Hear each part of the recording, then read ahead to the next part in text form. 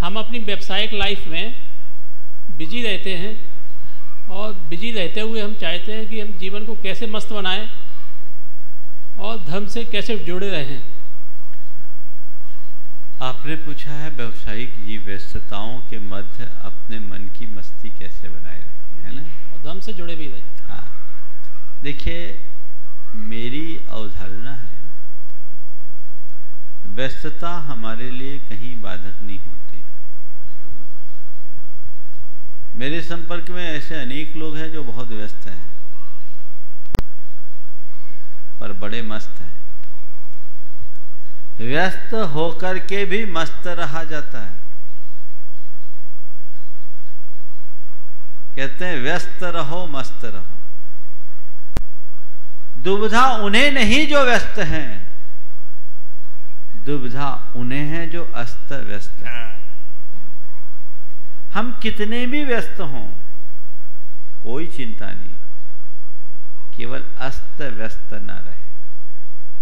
अपने जीवन को अस्त व्यस्त न बनने दे सिस्टमेटिक जीवन जीना शुरू करें। हमारी प्राथमिकताएँ तय होनी चाहिए।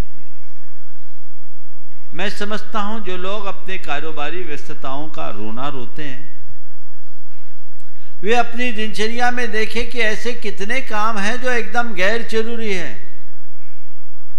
यदि वहाँ से समय निकाल ले तो बहुत समय उनको अपने धर्म ध्यान के लिए भी मिल सकता है और अपनी सोच को थोड़ा सकारात्मक बना ले तो हर पल मस्ती में जी सकते हैं। मेरे संपर्क में एक बड़े उद्यमी, आज से करीब पंद्रह वर्ष पहले उनने अपनी व्यथा मुझसे कही कि महाराज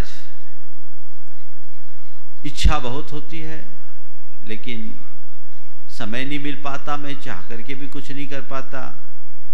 न प्रवचन सुन पाता हूँ, न भगवान का पूजन कर पाता हूँ, रविवार के रविवार कर लेता हूँ। मैंने कहा, क्यों? बोले, महाराज जी, डायबिटिक हूँ, ब्लड प्रेशर है, कार्डिक प्रॉब्लम भी है तो सुबह से उठता हूँ तो एक घंटा तो योग, प्राणायाम वगैरह में लगता है। मॉर्निंग वॉक करता हूँ, करीब सवा घंटा मेरा इसमें चला जाता है। महाराज, घर से ऑफ़िस एक घंटे का रास्ता है। ऑफ़िस में मुझे हर हालत में नौ बजे पहुँचना ही होता है। अब महाराज जी, उसके बाद लौटता हूँ। लौटने के बाद भी करीब करीब नौ बज जाते, घर आते आते आठ बजे मैं ऑफ़िस छोड़ता हूँ, नौ बजे आता हूँ।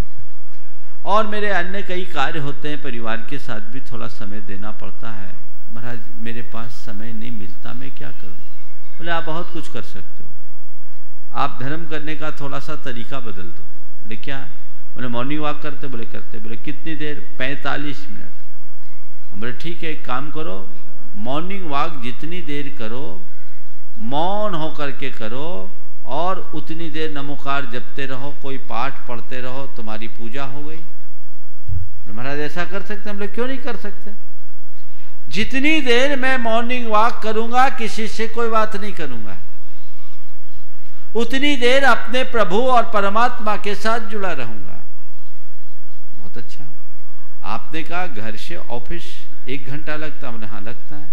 तो एक काम करो, जैसे ही गाड़ी में बैठो, प्रवचन लगाओ और सुनना शुरू कर दो। जब तक ऑफ़िस पहुंचोगे, एक घंटे का प्रवचन हो जाएगा, रोज सत्संग भी सुन लोगे। तो महाराज, आपने तो बहुत अच्छा तरीका बता दिया। ये उस जमाने की बात है जब सीडी भी नहीं आती थी, कैसेट आती थी। उस व्यक्ति ने उसको इतना अच्छा लगा कि रोज कैसेट मंगाते। और छोटे से टेप में इतना सा टेप आता था ना पहले उसको लगा करके, कान में वॉकमैन लगा करके सुनना। बोले, महाराज, इसके बाद तो मेरा जीने का तरीका ही बदल गया। और आज बड़े मस्त हैं। अब तो उनके बेटे सब कामों को संभालने लगे तो उनने अपनी दिशा भी बदल दी। पर रास्ता हम ऐसा भी निकाल सकते हैं। जब व्यस्तता दिखे तो धर्म का तरीका बदल दो। व्यस्तता तुम्हारे लिए कहीं बाधक नहीं होगी। प्राथमिकता होनी चाहिए कि मुझे करना क्या है।